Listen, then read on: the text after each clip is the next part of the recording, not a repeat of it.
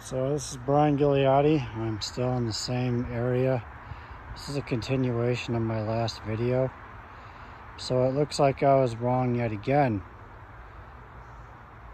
Like I said, we have a uh, dual observation point system, which I first discovered in uh, in Clinton at Clinton Site 1, Calendar Area 2. What I just got done video recording was a north-south relationship between the naturally occurring boulder that is aligned with the 120 degree as aligned with the uh, marked stone, the small stone piles that is part of the stone row. Um,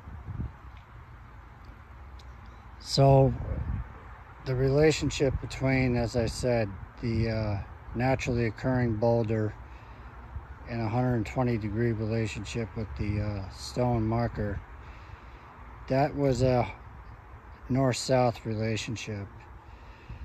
The relationship between this stone and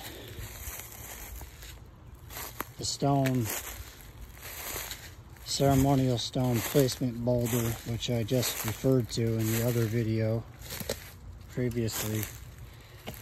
And the small stack stones, which I will be walking up to shortly.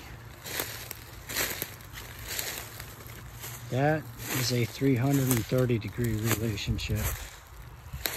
I'm walking to it right now. This gets very confusing. There it is. That's what I was referring to. And to top it all off, I remember this. This stone right here, which I call the naturally occurring boulder. Um, well, let me get back to you on that somewhere in there there's a 315 degree relationship